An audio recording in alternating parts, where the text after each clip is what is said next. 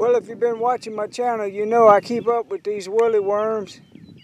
This is the first one I've seen. Today is June the 22nd, I think. It's Saturday. He's got uh, a black head, a black tail, and he's really light looking in the orange department. First one I've seen all year. Wow. This is where I'm at. That's a that's a good one.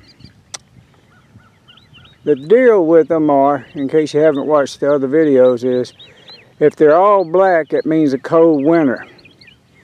If they got really light orange on them, it means it's a mild winter. If they're blonde looking, it means it ain't gonna be no winter or something like that. You'll have to you'll have to do your research on them, but these things they say can predict what kind of weather we're gonna have in the winter. So that's why I monitor them, just so I can get an idea. But boy, this is pretty early in the season to see one. I might have seen one last year about the same time. I'll have to check my own video out to see what time it was that I videoed the first one. All right, I'm gonna get on down this road. This is lap one.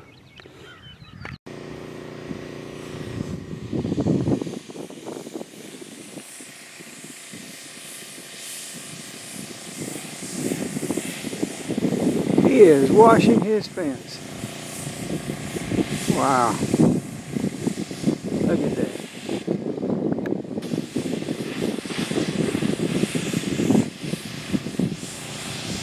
He's getting it. I also want to take a picture of this ranch. I've never been, it's a gravel road, so I've, I've never went down the road, but they advertise they got these animals for sale, or they raising them, and they got eggs for sale. But it's just a little too far from Ozark to come and get eggs so we we got another person that's kind of close where we get some really good eggs from. All right just thought I'd film this because I am not I am not in no hurry. My bicycle is needing adjusting. This uh, handlebar right here this click you know changes the gears has done got some slack in it and it is just working me to death. So I've got to take it into the shop and um, A&B Cycles is going to hook me up. They may have to reorder. They had me a shifter that was going to be already in and on the shelf but evidently they uh, let somebody else have it because I hadn't been, uh, this was before I left for Jamaica I think and so as soon as I got back, I've just been riding steady and it's been slipping for the last two weeks, but it really is giving me a problem now. It's it's hard for me to even get uh, 15 mile an hour average with what what's going on.